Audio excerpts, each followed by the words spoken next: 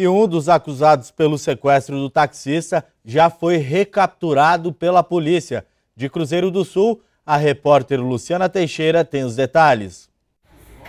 Ednardo Gaspar de Souza, o loirinho, foi recapturado pela Polícia Militar junto à Polícia Civil nesse final de semana em um ramal no município de Rodrigues Alves. O destino era o país vizinho, Peru.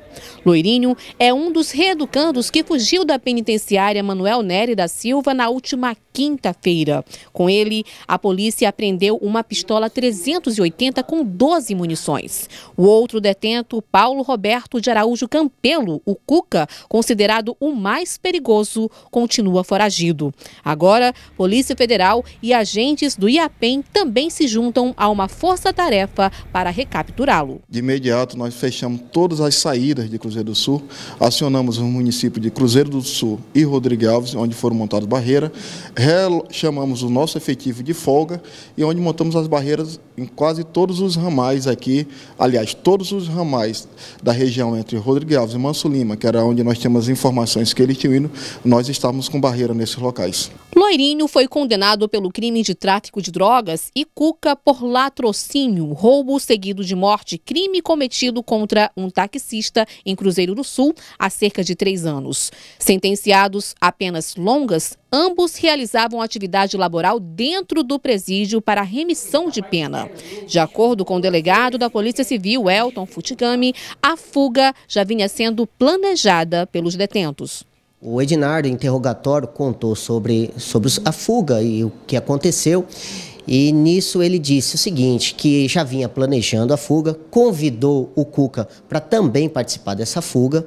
É, e no dia em questão, ele estava trabalhando na marcenaria enquanto o Cuca na horta. Por volta do horário do almoço, é, o, o agente penitenciário sai para almoçar, fica ficou ele, o Cuca e outros quase 50 detentos, ficam na área externa do, do presídio e sem muro, sem cerca, sem nada que possa ao menos dificultar uma fuga.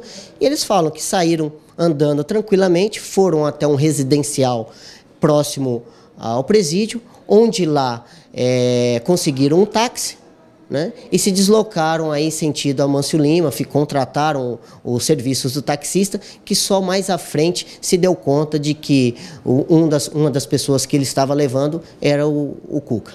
Segundo o delegado, o reeducando Loirinho, que cumpria pena em Sena Madureira, chegou a afirmar que pediu para ser transferido para Cruzeiro do Sul porque julgava ser mais fácil realizar uma fuga.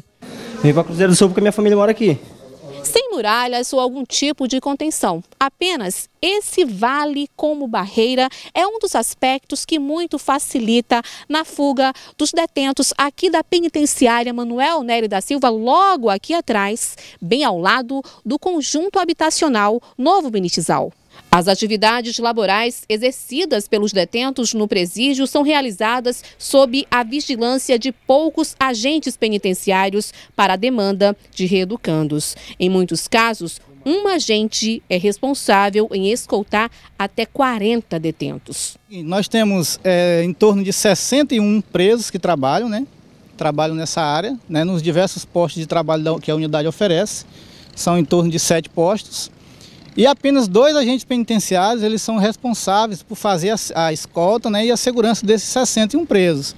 Né, são sete postos, dois agentes penitenciários, consequentemente vai ficar em torno de cinco postos aí que vão né, ter apenas os reeducantes trabalhando.